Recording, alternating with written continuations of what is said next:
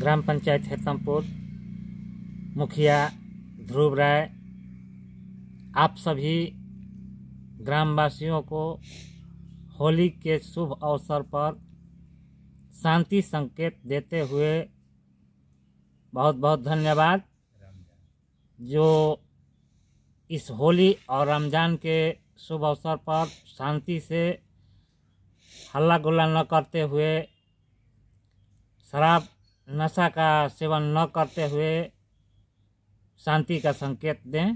धन्यवाद।